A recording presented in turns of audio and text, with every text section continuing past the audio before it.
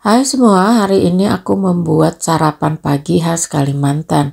Itu adalah mandai cempedak atau yang disebut kulit cempedak. Itu kulit cempedak itu aku goreng bersama udang goreng. Kemudian aku memecahkan tiga biji telur yang kecil-kecil itu.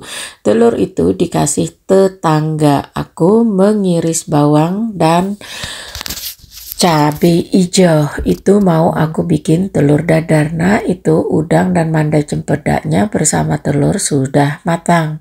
Aku membuat sarapan pagi itu dengan cepat. Kemudian aku menggoreng telur ya. Mula-mula telur itu kita aduk bersama bawang bersama cabai hijau dikasih garam dan penyedap rasa. Itu aku goreng ya bersama telur ya Kemudian aku menyiapkan untuk membuat milkshake atau jus strawberry karena kita kebanyakan strawberry. Jadinya aku setiap harinya membuat jus. Jus itu akan aku kasih susu dan sirup. Kemudian aku mixer untuk menggunakan tangan mixer itu bersama is batu ya. Aku menggunakan dengan is batu biar kelihatan seger dan dingin ya. Itu sudah jadi dan minuman itu sangat enak sekali kita minum dan rasanya sangat segar sekali ya.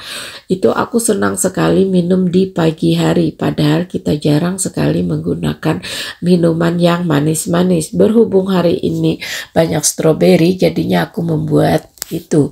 Nah itu masakan aku sudah selesai dan makanan itu sudah siap aku santap. Itu ada terong, ada dua udang dan mandai cempedak dan telur. Itu rasanya wow enak teman-teman. Aku tidak bosan memakan masakan khas Kalimantan karena itu wow itu panas sekali panas sekali. Jadinya aku lupa meniupnya ya.